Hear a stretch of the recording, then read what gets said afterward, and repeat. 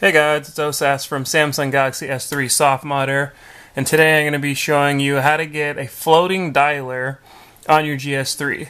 So if you know, when people call you, you get this normal looking and kind of massive um, dial screen. And in order to get out of it, you have to obviously hit the home button to get out and go to a different app. And if you're multitasking, it's pretty much the worst thing ever. So you get this huge thing that comes up when you answer the call, when you answer the call, you get this. And um, in order to multitask, of course, you're going to need to press the home button and jump out. Now, if you need to switch back and end the call or hit speakerphone or whatever, you have to either drag this down and do that from here, or, of course, you can just go back to the dialer. Whoops which would be the easiest thing, by just hitting the phone icon again.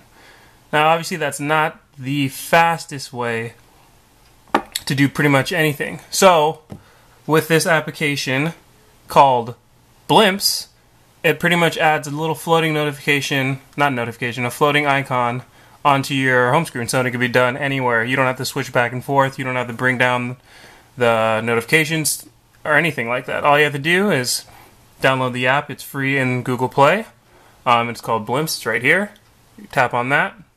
All we're going to do is hit enable, and you can turn on speaker. So that means if you want to toggle speakerphone on or off, and then this is to end the call.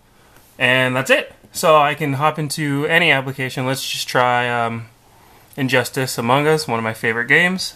For um, Android devices, I'm going to call myself of course, it's going to interrupt this because there's no way you can really avoid that. And then once it call once the call goes through, I'm going to hop back into Injustice, and then you'll see that the toggles do appear. So right now, I'll accept the call by sliding this over. Let's mute both of these, and you can see that the toggles are right there. I'll jump out of the phone dialer, and I'll jump back into Injustice, and you can see that they're still here. I can tap this. Right there, you can see that it says speaker on and of course if I tap it again it'll turn off. I can move these um, if I really want to. Well, you can move them around before you jump into the, the dialer, pretty sure. Actually, no, there you go. So I can move these around if they're getting in the way. But that is just another little feature like that. So you can see I'm playing the game right here. I'll hit fight. It'll load up. Now if I want to end the call, all I have to do is tap that. The call is ended you can see from the drop down menu there's no more call and obviously you usually would see that green flashing indicating that you have a call but I don't. Um, it's as simple as it is.